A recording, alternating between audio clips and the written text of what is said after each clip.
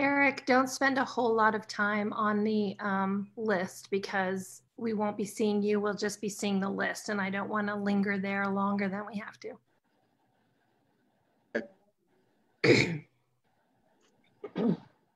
okay, so we are live on Facebook. Hold. Let me just record, and we're recording.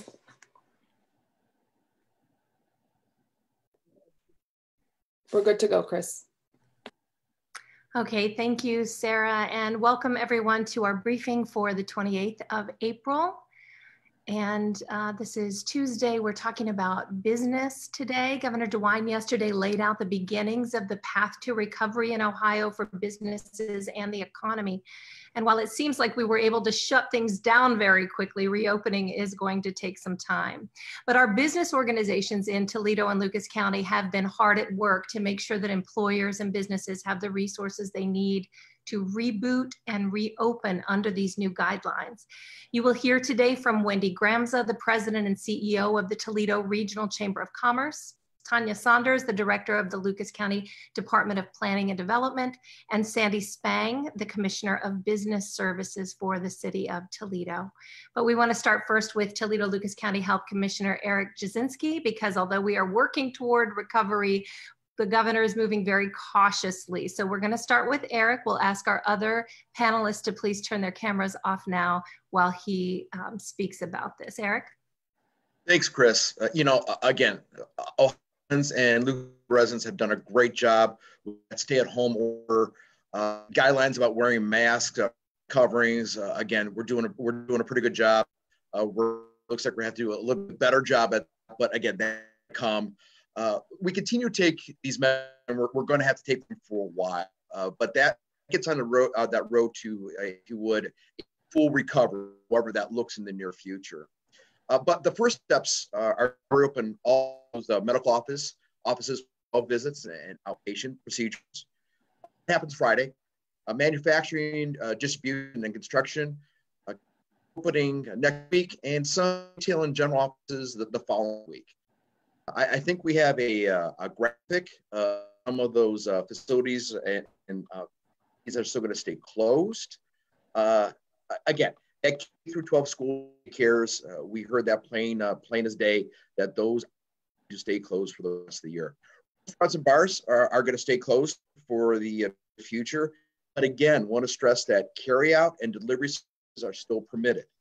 Personal uh, appearance beauty services this includes salons, day spas, nail salons, barbershop, body piercing locations, tanning facilities, massage therapy locations. Some of the businesses are closed uh, right now.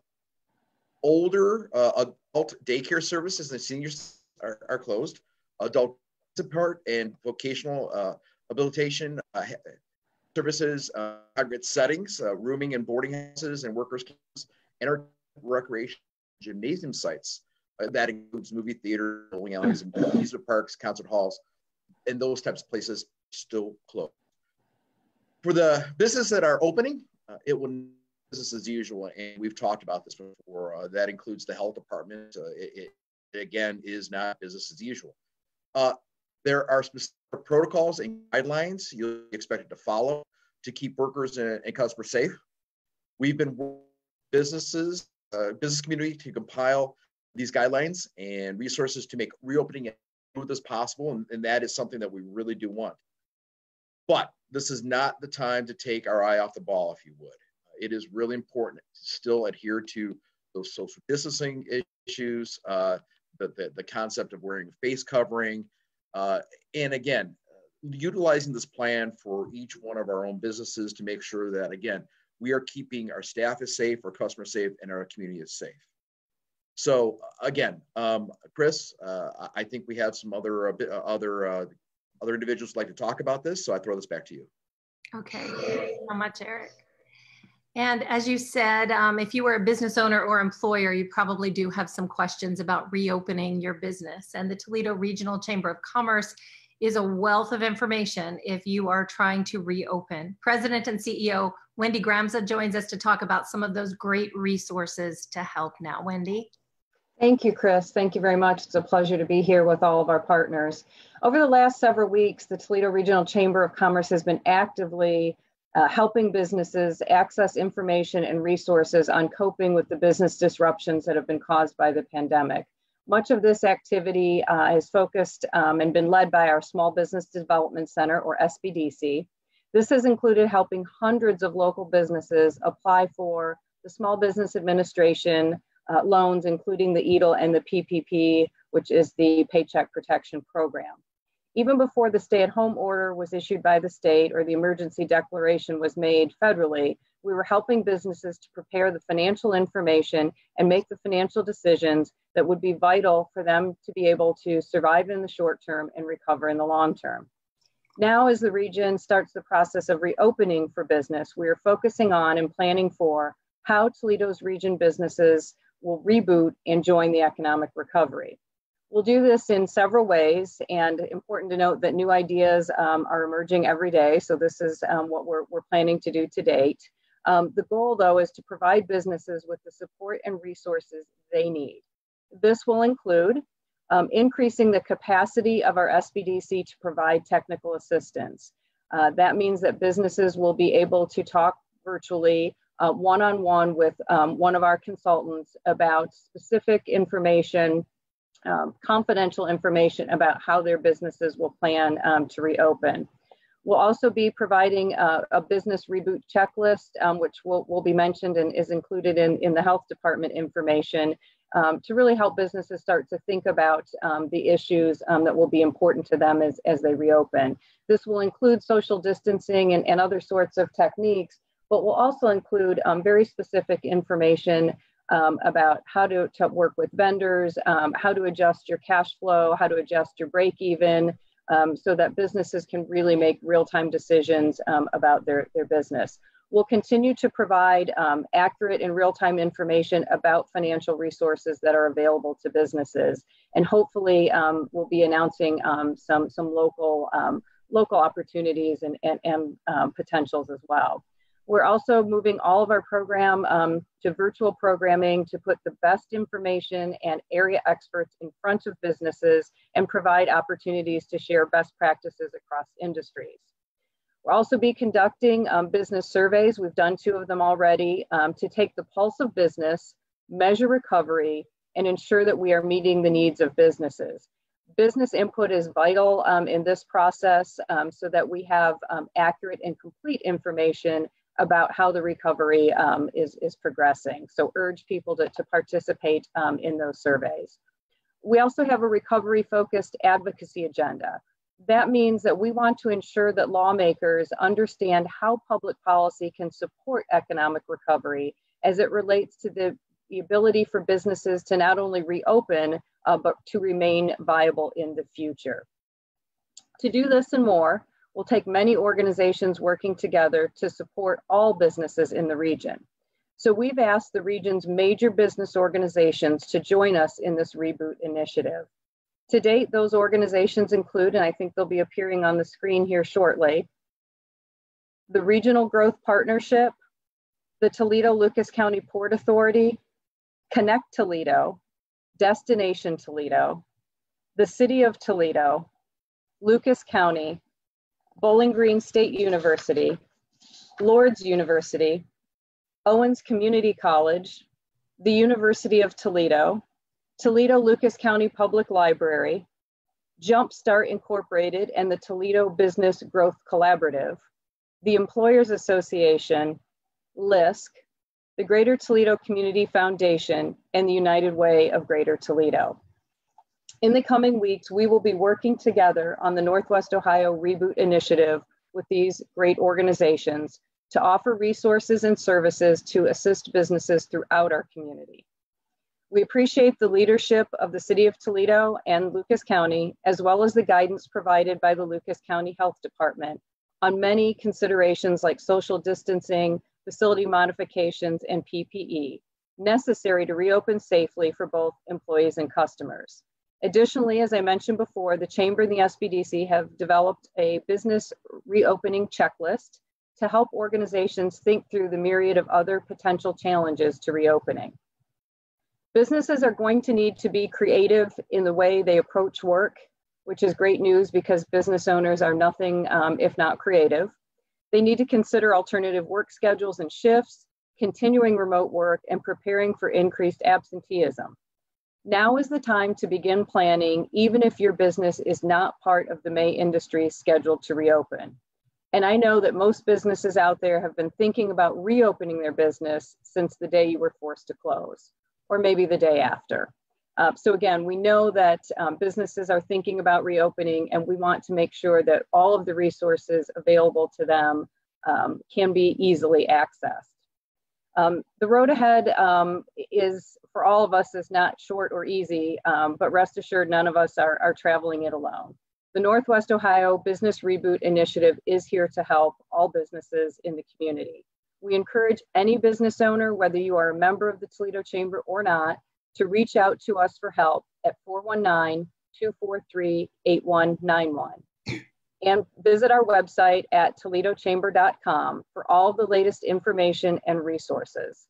Again, you have more information on your screen um, about how to reach us. We know that not every business um, necessarily has access um, to, to the website at their fingertips, so you can call us as well. Um, please be patient. Um, we're not, we're expecting a, a large volume of, of calls, uh, and we will answer those uh, as quickly as possible. So um, again, I just want to thank everybody. I want to thank all the businesses out there for everything you do to create jobs in our region. Um, we know this has been a tough time, and we look forward to helping you get back to business. Wendy, a couple of things there. Uh, first of all, it, this is open to not just uh, your chamber members, but all businesses in our region. Um, yes. I heard you say, right? So you don't have to be a chamber member, although you might want to join after you see how uh, what great resources they have available. And the other thing is that um, you have so many members that this is a great opportunity for people to share best practices and find out what's working for other people at the same time, right? Absolutely, Chris. That's going to be important. Um, it's also going to be important that we provide, and we're planning to provide um, some more casual opportunities for businesses to network with one another. Don't know when we're going to be able to do that in person, um, but we want to make sure that um, we create some virtual opportunities to do that. I know many business owners are reaching out to colleagues um, every day. Um, and, and, that's very important, especially as we sort of work through the, the anxiety that comes with what's going on um, in our region, both personally and professionally. And so the more that we can get businesses together uh, to talk to one another and share best practices, I think that that's going to be um, very helpful to our business owners. Exactly. All right, Wendy, thank you so much. And um, we'll have her turn her camera off. If your business is not on the reopen list yet, you can still plan for the future. It's important for you to be ready to go the minute that that um, stay at home or that closed business order is lifted for you. So Tanya Saunders, the director of the Lucas County Department of Planning and Development, has some great information on getting ready. And also, you actually do have some helpful economic resources available, Tanya, through the county. Yes, thank you, Chris and everyone. Um, so Lucas County has a unique role in terms of how we are serving businesses. We have a dual role in direct service to businesses, but also preparing the workforce. Um, but more on the business side, um, you know, as we've been changed in our, our work settings with the COVID-19, it also opened up a door of creativity. And so talking with my colleagues across the state of Ohio, we've been able to adopt some very unique ways that we can still reach businesses and be creative because even in light of the COVID 19, um, there's a lot of recruitment still happening. Um, so we haven't really seen that slow down as much. And just trying to find a way, how do we still fulfill those needs with a, a lot of the constraints that's present? And so we've talked to some of uh, some of the other areas uh, throughout Ohio that are creating ways that we can do virtual events, uh, virtual re recruiting events. Um, but on the on the economic side, and it's been great to have this panel um, in collaboration and working together with the chamber and the city of Toledo, is really leveraging our our funding, our local funding, and some of the the features that Lucas County has the ability to do as we think about businesses ramping back up. It's not going to just be like turning on a light switch Um, there's going to be a lot of planning involved, a lot of training involved. Uh, as we bring, as the employers are bringing people back to work, they may lose some in that process. And so there may need to uh, be a lot more training or upskilling of existing uh, workers because they're going to have to change their operation. And so we have a few options, uh, one being um, on the job training dollars. So we can help offset some of the training expenses um, and some of the wages during um, the hiring of new employees. And then we also have what's called encumbered worker training dollars, uh, and that would be geared towards upskilling their existing workforce. So as they bring that workforce back and they discover that they need to learn some new skills or learn a new way uh, or obtain some other certifications, we can make those provisions to kind of stretch those dollars. Um, we also have what's called layoff aversion dollars. Um, so there may be some companies that are, you know, really toying with the idea or under, you know, really under the pressure of uh, knowing that there may be um, uh, where they may have to, you know, look at layoffs. So we have those provisions there, and I would really, really want to encourage employers uh, to have those conversations with us because there's provisions that we can make to hopefully, um, you know, not have the layoffs. So um, we've been, uh, our team has really been reaching out to employers directly to just kind of check in with them to see what their needs are. We've been giving um, some advisement in terms of you know, the market is going to be very competitive as we've seen the numbers uh, grow daily with unemployment. But as that begins to transition, um, we're going to see a lot of people going for the same type of jobs. We have, you know, obviously Amazon um, has been moving fast forward and we're going to have a lot of activity that's going to kind of hit all at one time. And so we're really trying to take this idle time to work with employers one-on-one to really talk to them about job descriptions to talk about the pre-employment piece because uh, we may have to have some leniency in terms of how are we um, attracting available workers uh, because as the doors begin to open they're going to need those workers right away. And so on the on the workforce side, we've been taking this time to work one-on-one with job seekers to get them prepared to work out the details in terms of aligning their skill set with those available jobs and making sure that we are addressing those pre-employment requirements so that they are ready to go. A lot of great information there and also those um, uh, layoff aversion dollars available and you can see right here on the screen um, the assistance that's available for employers and also for job seekers uh, through Lucas County and Ohio Means Jobs. And Tanya, um, all somebody has to do is just call you at uh, the, the phone number we just saw, and we will put those uh, resources in the comments section here on Facebook and have those available for you as well. But um, before you decide to just lock that door for good, give a call to um, Tanya and the team there in Lucas County because they may be able to just get you through for that month or two, right? Until um, things get back to normal. We are here for you. Okay, thank you so much. And so um, Toledo's Commissioner of Business Services has also been very proactive in talking to business owners about the challenges and obstacles that they've been encountering and finding ways to overcome those. And Sandy Spang joins us now. And uh, you understand this on a very personal level, Sandy, being a, a business owner yourself, right? That's right, Chris. And I do want to speak directly to those businesses that are contemplating what reboot means for them. Um, as everyone has said, the impact of, uh, on our businesses was sudden, and reopening is going to be a process. For many businesses, relief funding and procuring the supplies you need to reopen are top priorities. Fortunately, as Wendy Gramza has said earlier, as a small business owner, you already possess these skills. Um, think back to the early days of your business. It was your tenacity and your creativity that brought you success. No, to take on relief funding first, um, it began with the economic injury disaster loan. Many businesses applied for that. Very few have seen funding from that yet.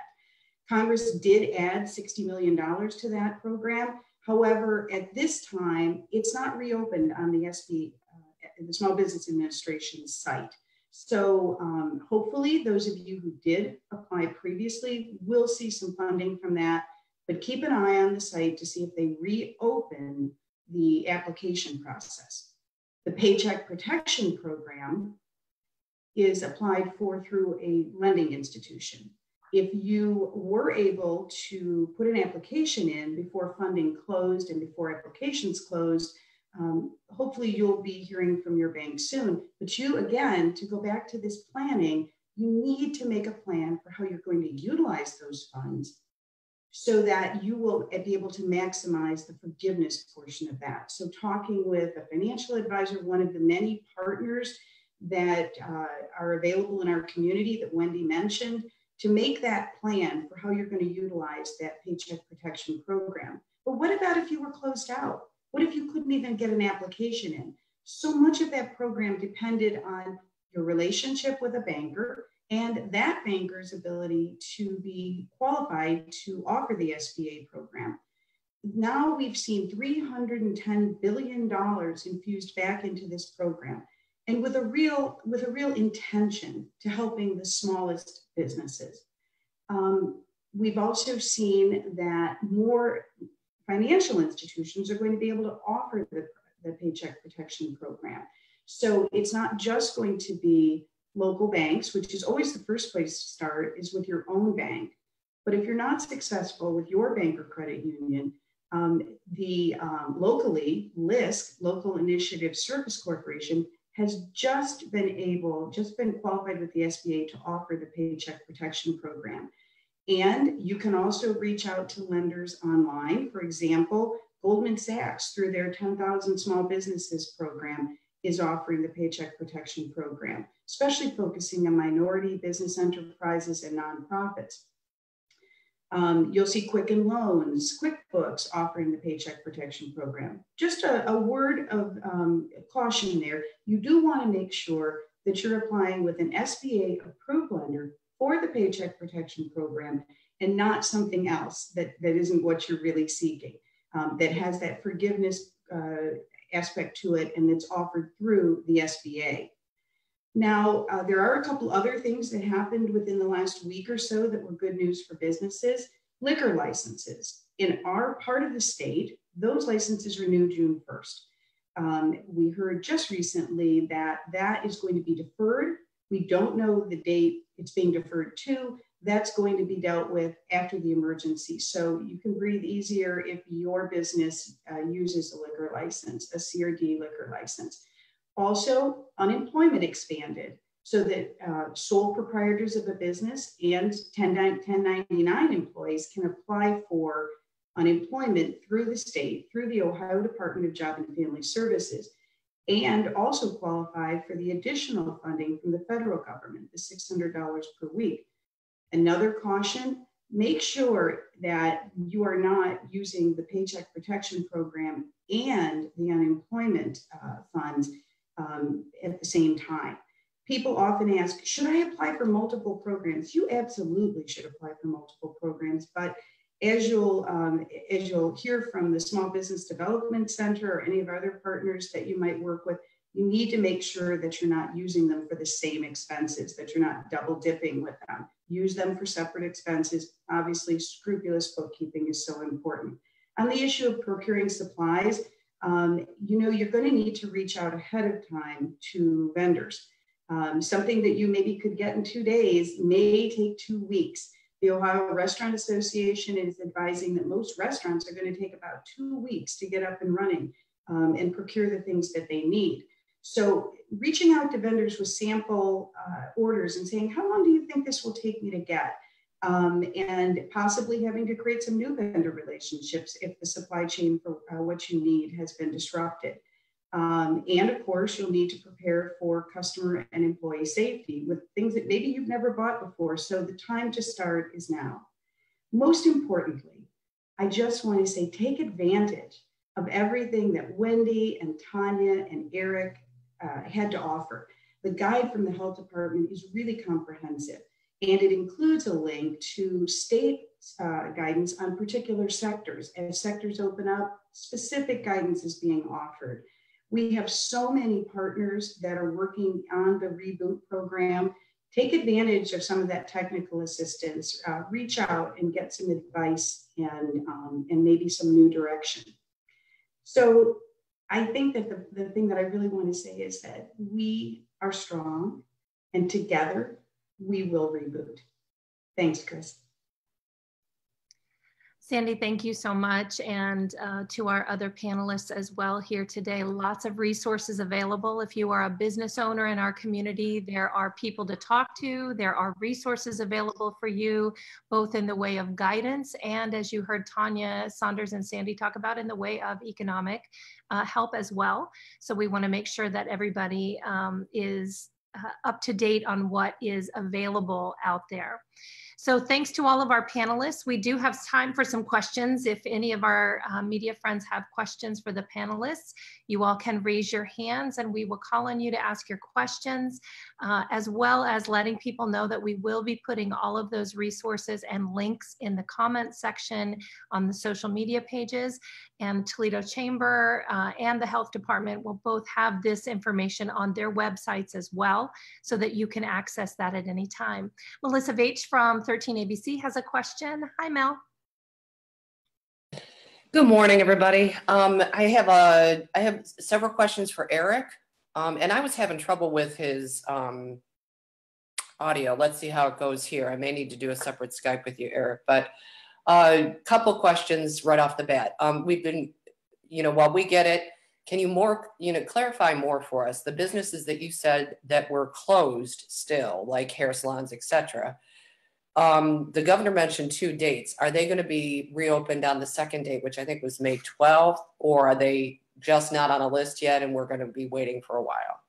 Ones that we talked about being closed, you know, the hair salons, uh, those the, those entities uh, are, are still going to be on a list further down the line. Uh, I don't know when.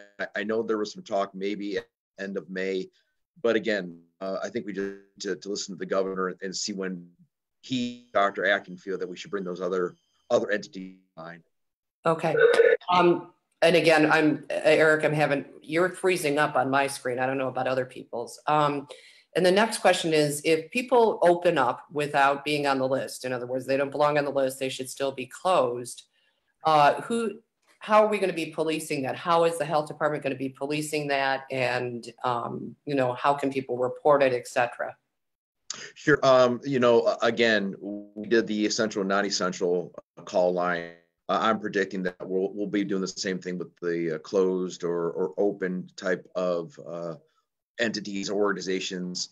Uh, also, then too, you know, we'll, we'll, be involved here with the social distancing and adherence to face coverings and things of that nature. So I don't, I don't predict much is going to change for us, the health department, relative to following up on those type of businesses uh, I think definitions are going to change, and specific things inside those uh, inside those facilities are going to have to be adhered to, and and that's what we'll we'll follow up on. Okay. Um, and then um, I'm also going to ask you about our contact tracing within the county, Lucas sure. County. You know, the mm-hmm. governor had said that he wants to beef up each individual uh, health department's contact tracing team. Correct. How are we doing on that number? And do we need more people? And well, I, I I'm going to go a little bit off uh, of track of what the governor is suggesting, and Dr. Acton. Uh, you know, the John Hopkins uh, report says 15 per hundred thousand.